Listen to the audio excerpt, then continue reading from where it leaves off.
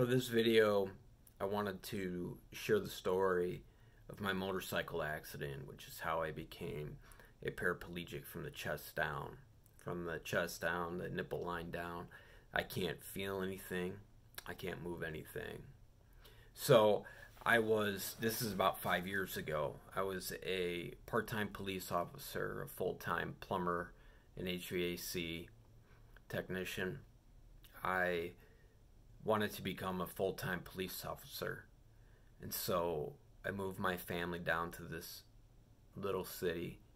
And the, the day I moved my family down, that night, my wife wanted to go to bed. She was tired, and I was so excited to be there. I wanted to go to the PD and let everybody know that I moved down there and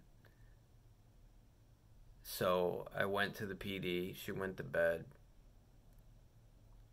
And there was only one officer on duty. It's a small town. And I visited with him for a little bit. Then I left and I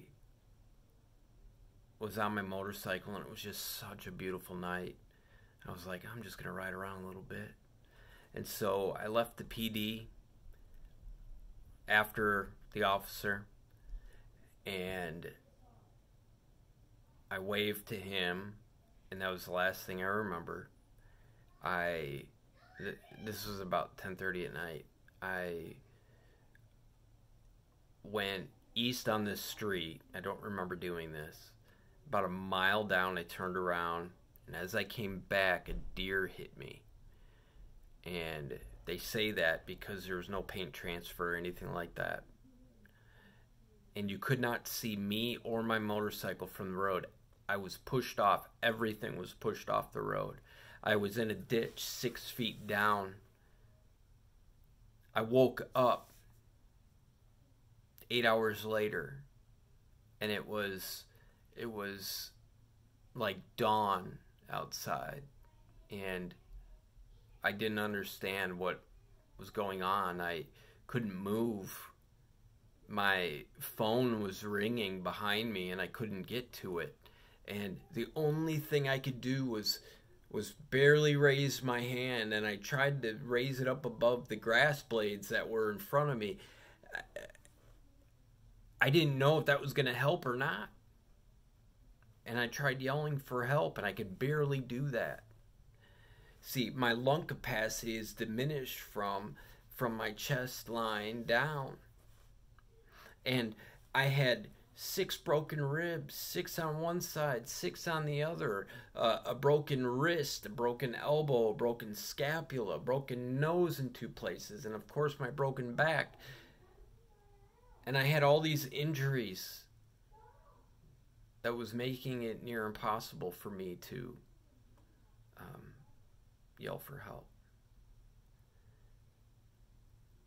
And so all I could do at that moment, see, I was to the point where I was almost an atheist. And all I could do at that point was cry out to God. That was all I could do. There was well, I couldn't cry out to evolution. Evolution wasn't going to help me. But I cried out to God.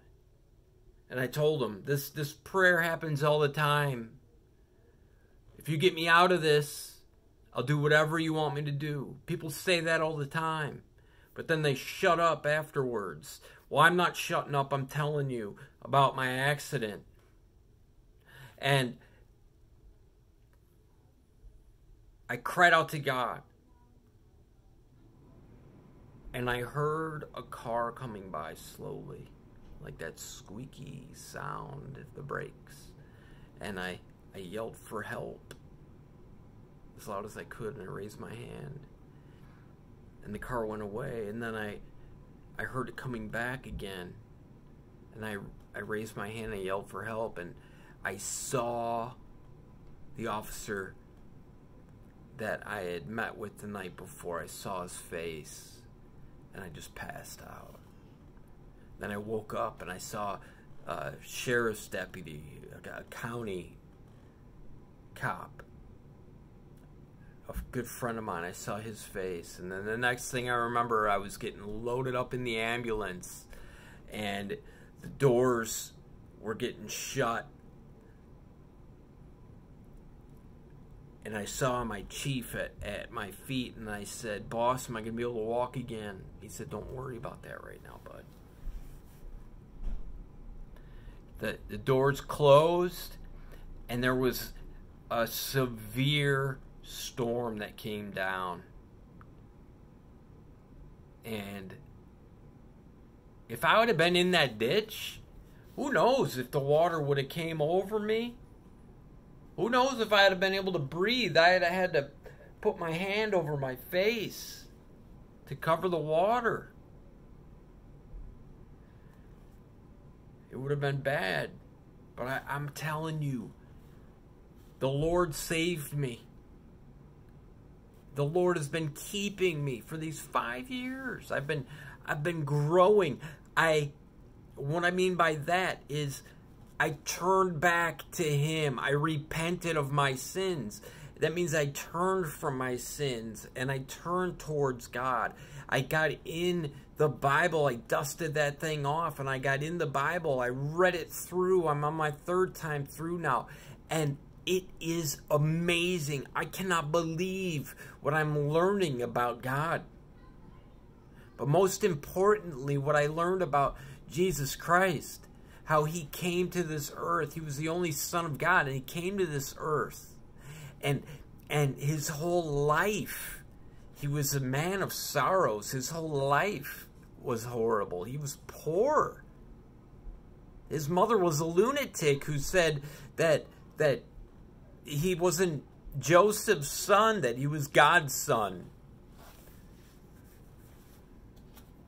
And so Jesus Christ came and he took the penalty that that is due to us. He took that penalty. He was scourged. You know what a scourging is? It's it's a handle and it's got these these little ends that come off of it, little whips. And at the end of the whips there's there's uh, pieces of glass and bone that's tied onto that. And so when they get whipped, it tears into the skin and they, they pull it off and it, it, it reveals bone underneath. And it's, it's a, a horrible punishment. And Jesus took that punishment. And then they clothed him and they in a in a a scarlet robe or a, a, a robe of like a king would wear I don't know if it was scarlet, and they they put a crown of thorns on him that just dug into his his skull, and it it dripped blood, and they mocked him, and they they they punched him, and they they slapped him, they spit in his face, and then lastly, they crucified him. And as they were crucifying Jesus said, Forgive them, they know not what they do. And then when he was about to die, he said, It is finished. And what was finished was he paid all of what needed to be paid for us to be able to get back and have a relationship with God. And that's why I am telling you this. That's why I'm telling you this. Because right now we're in we're unprecedented times. We've never seen times like this before. The coronavirus and all this stuff that's going on. We're shut in our houses. We don't know what's going to happen from day to day. We don't know who to believe, who to turn to, what to do. But I'm telling you, there's one you can turn to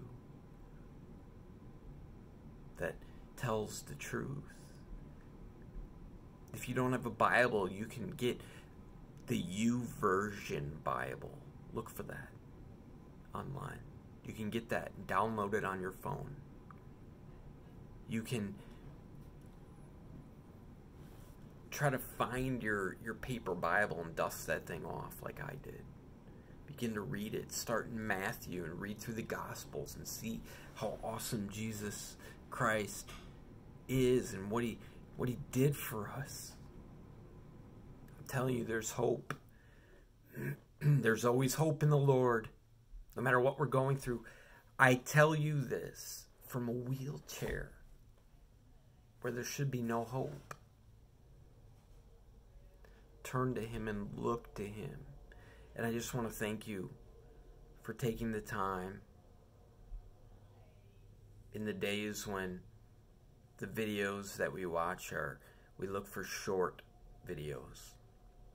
So I thank you for taking the time to listen to this story and I, you know, I just pray that you find the Lord.